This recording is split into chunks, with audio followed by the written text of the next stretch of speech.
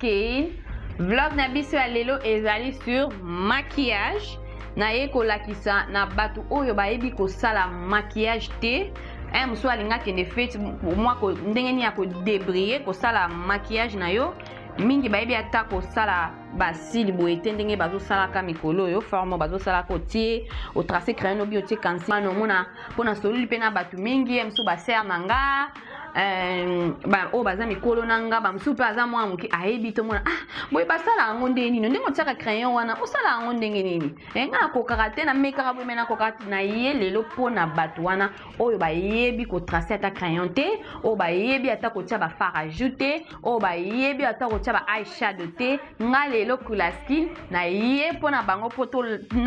nalakisa na bango ndenge nini ngai mpe nasalaka oyo yanga ndenge nini nadebuyaka mpe kosala simple makeup na nga oyo ezali nango ya tous les jours o msu mpe soki oyebi makeup to okoki mpe kokende yango fete na ye lelo mpo na bato wana en plus nini lisusu soki mpe osabone nanu te na coola skin kimambango e kimambango ya kosabone na coola skin bo share bo like ba comment na bino tozozela yango ekosala biso bien ba like na bino surtout eh surtout ba commentaire ekosala ngai kitoko makasi vraiment bo s'abonner vraiment bo partager bo share ba video na bino partout yango nalingi na banda tolanda ndenge na kosala maquillage na ngai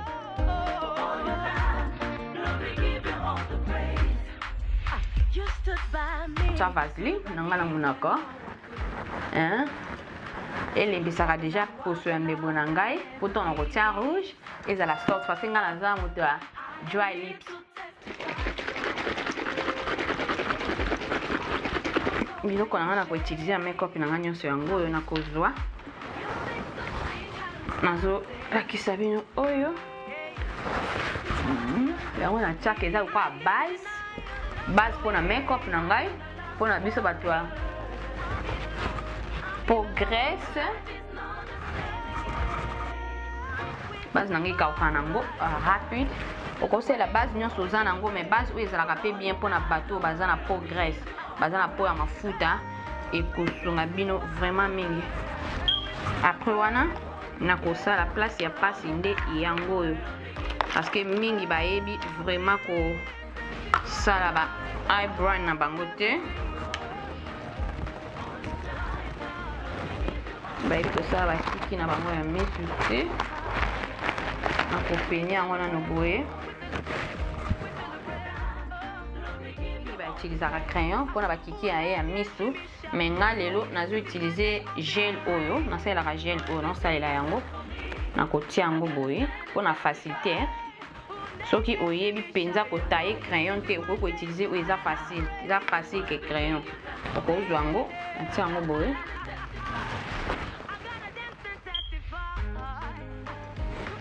surtout soki oyebi nanu kotia eh, kosala bakiki na yo te kolinga kobanda bakiki no awa te a liboso te parce que so obandi liboso awa donc mpo otaye yango bi ezalaka mwa mpasi donc fo kobandaka yango na se awa obandi awa neti ngai natiki awa mpo ntango nakotia kansila na ngai ebima naturel donc na touche awa liboso te awa na touche te nabandi kaka na se awa nazwi nataye yango kaka na se awa donc kote na ngai oyo ya liboso natiki yango mpo ntango nakotaye nakotia kansila na ngai nabima naturel après wana nakozwa kansila na ngai eni kansila oza na yango okoki kosalela eza problème te ngai nakosalela olu lelo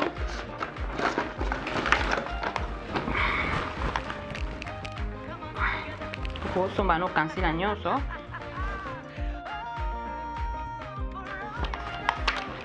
na video oyo ekolanda nakolakisa eloko moko na moko nini nasaleli oyo okoki kosomba soki oza moto obandi ba makeup sika oyebi kosalela te na kolakisa yango mbala nsima mai lelo na kolakisa kaka ndenge nini nazosala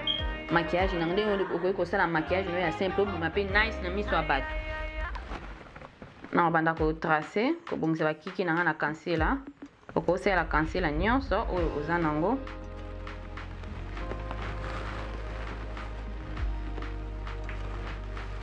Omoni nde na otaye yango, nabandaki awa.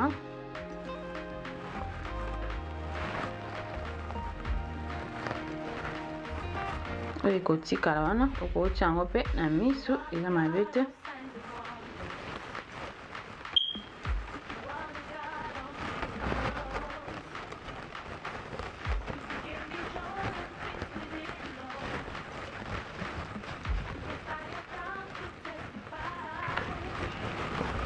bomoni ndenge na taille na ye so a likolo okende yango kaka malembe malembe parce que toujours ozoyekola kokende yango presse te okende yango kaka malembe omoi nde nasali yango donc simple donc osimbi kaka brosse no mpenza makasi oya nango boye yo moko oyebi shape nini okoki kosala ya ngai shape na ngai lelo eza boye moni ndenge naosala yango okosala yango mpe na maboko soki oza na babrosse ngai mpe babrosse eza na yango ame na préféré na ngai na blend yango na maboko mm. songisa yango na maboko eza mpe mabe te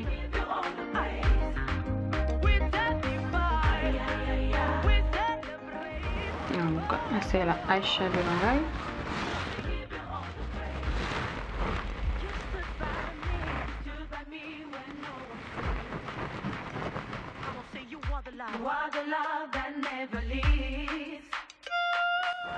nakosalela foundation na ngai eza 2 na kobanda liboso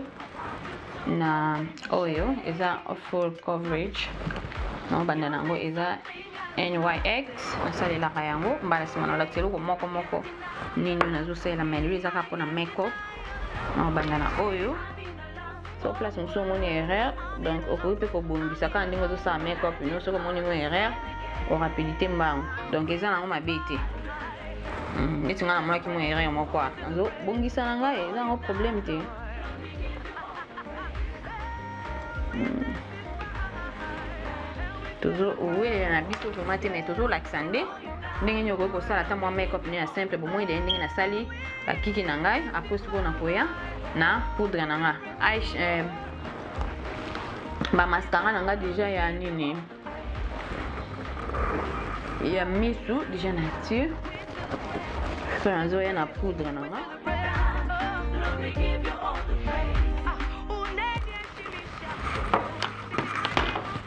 après wana naoya obakisa um, bon to grow fodete na nga oyo naye kobakisa likolo oyo eko eko eko shine elongi na ngai ekongelisa elongi na ngai lisusu fode te wana tya yango likolo parceke yango engelisaka lisu elongi ekotya osu elongi kitoko makasi ekongalisa elongi na yo bien yango nabakisi likolo bino moko bomoni ndenge esali ntango nabakisi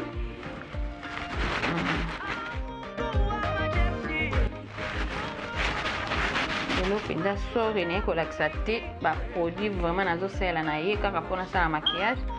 mbala nsima nde nakolakisa eloko nini moko moko moko moko obien soki mpe o okomeli ngai nakoyebisa yo biloko nini oyo ngai nasaleli me yango wana deja nazolakisa bino yosate bozomona sali boye soki omoni ke oza presse poudre na yo nano ekauki te olingi obakisa eloko mosusu likolo okoki mpe kozwa ata eloko nyonso okopola mpo ekangama ekota très bien nasalaka mingi boye akopola boye mpo poudre evanda mpenza bien elongi oh! esalaka vraiment bien omona mpenza poudre evandi yo très bien elongi okoki kopola ata na papier nyonso oza nango na ndako oyo eza pembeni wana nga naokopola mpe po fo de te na ngai ekota vraiment vraiment vraiment vraiment malamu yango bomoi nazopipola yango vraiment boye esili nango apres wana nakoya kosalela ko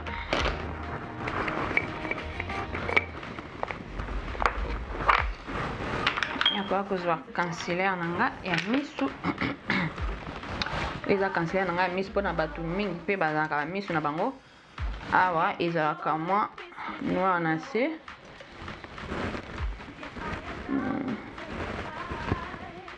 atia hmm. awa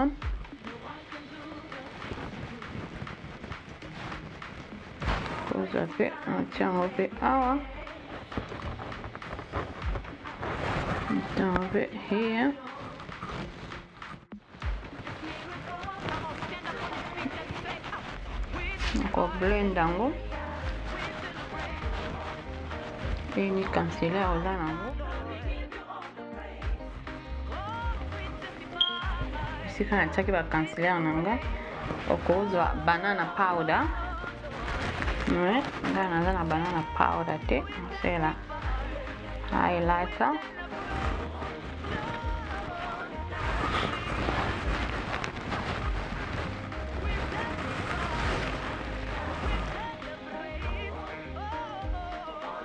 C'est la loose powder.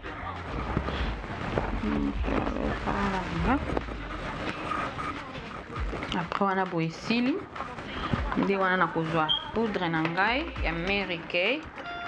oyo eza mwa noir eza mwa na te moko ya se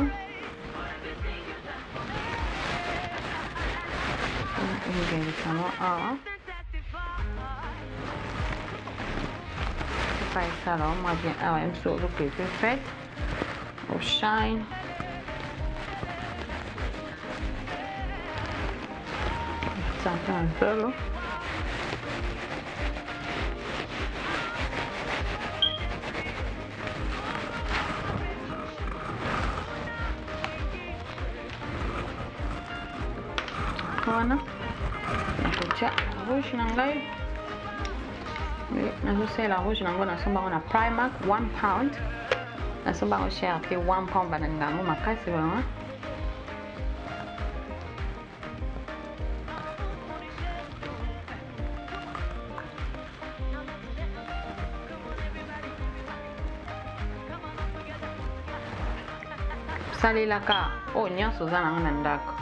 soki oza na nge te wala nsima okosomba nga nasaleli oyo naza nango na ndako na mwa baconfinement oyo babeko nyonso bamakiage esilisili donc nasaleli kaka oyo naza nango na ndako po moto mosusu mpe akoloba e eh, biloko mosusu emanke fala sala we fala sala we ngai nasaleli nano oyo naza nango hmm. nasali simple maquillage nanga natie rouge lèvre nanga lisansie eka obima kitoko na miso ye bato tia mpe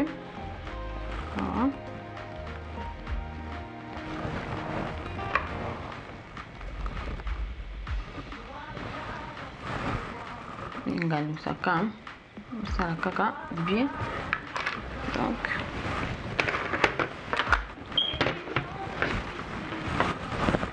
omoni maquillage na ngai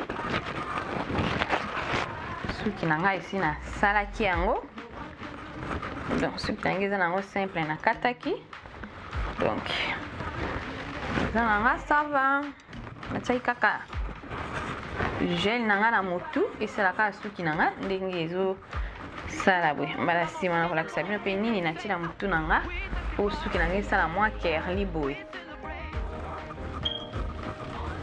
nabongisaka suki na nga kozwa litoi na ngai nakolata